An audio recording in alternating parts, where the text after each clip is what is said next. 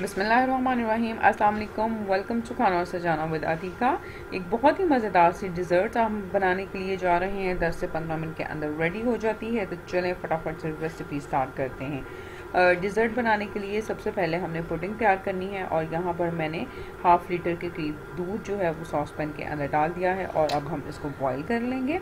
जी putting के लिए मैं पुटिंग साशे यूज़ कर रही हूँ। आपको किसी भी कंपनी के साशे पुटिंग साशे जो है वो मार्केट में इजीली मिल जाएँगे। जैसे ही दूध बॉयल हो जाएगा, हमने इस साशे को दूध के अंदर डाल देना है और एक से डेढ़ मिनट तक आपने कंटिन्यूस चम्मच इसके अंदर हिलाते जाना है और तकरीबन डेढ़ से दो मिनट तक इसको पकाने के बाद हम फ्लेम को ऑफ़ कर देंगे और पुटिंग हमारे पास रेडी हो गई। तो बस अब इसको हम रूम टेम्परेचर के ऊपर ठंडा कर लेंगे। जी तो अब हमने एक अदद ब्लेंडर ले लेना है और इसके अंदर हम ऐड करेंगे दो मैरी बिस्किट के पैकेट जो है, वो हम इसके ब्लेंडर के अंदर ऐड कर देंगे। इस तरह से हम इनको थोड़ा सा तोड़ कर जो है वो ब्लेंडर के अंदर ऐड कर दें। दो मैनी बिस्किट के पैकेट यूज़ कर रही हूँ और उसके साथ एक पैकेट कैंडी बिस्किट का यूज़ कर रही हूँ। अगर आपको सिर्फ़ मैरी बिस्किट ऐड करने हैं, आप सिर्फ़ मैरी बिस्किट या फिर सिर्फ़ कैंडी बिस्किट भी ऐड कर सकते हैं। कैंडी बिस्किट जो है, उनको भी इस तरह से हम ब्लेंडर के अंदर ऐड कर देंगे। उसके बाद ये वन टी के करीब कॉफ़ी इसके अंदर चली जाएगी और इसके साथ हम टू हंड्रेड के करीब, यानी कि एक पैकेट जो है वो हम क्रीम का इसके अंदर ऐड करेंगे।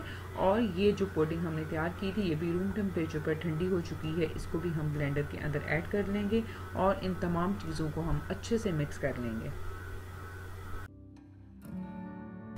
जी तो ये यहाँ पर बाउल में मैंने फ्रूट केक की एक लेयर जो है वो लगा दी है और पुटिंग का मिक्सचर को मैंने अच्छी तरह से ब्लेंड करके एक स्मूथ सा मिक्सचर जो था वो बना लिया था और वो सारे का सारा मिक्सचर हमने फ्रूट केक के ऊपर पोर कर देना है।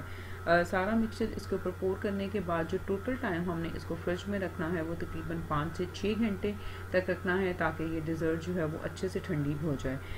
एक घंटे के बाद या एक से डेढ़ घंटे के बाद जब ये थोड़ी सी सेटल डाउन हो जाएगी हम इसको फ्रिज में से निकाल कर चॉकलेट सिरप की इसके ऊपर टॉपिंग करेंगे और उसके साथ ही ये थोड़ा सा क्रश किए हुए बिस्किट कैंडी जो थे वो मैं इसके ऊपर ऐड कर दूँगी और दोबारा से हम इसको फ्रिज में रख देंगे और पाँच से छः घंटे के बाद हम इसको निकाल लेंगे। जी तो ये देखें, बहुत ही मज़ेदार सी डिज़र्ट जो है वो रेडी हो गई है। इसको मैं आपको कट कर कर दिखाती हूँ। बहुत ही मज़ेदार ये बनती है। इसका बनाना बहुत ही आसान है। कम टाइम में ये तैयार हो जाती है। बस फ्रिज में रखने के लिए आपको पाँच से छः घंटे के लिए चाहिए। और ये देखें इसको हमने निकाल लिया है। इसको ज़रूर ट्राई कीजिएगा। ईद आने वाली है। आप इसको ईद पर भी बना सकते हैं और ये बहुत ही मज़ेदार बनती है। अपना बहुत सारा ख्याल रखिएगा। तो हमें याद रखिएगा। फिर मिलूँगी एक नई और बहुत ही मज़ेदार सी रेसिपी के साथ। Thank you very much and Allah half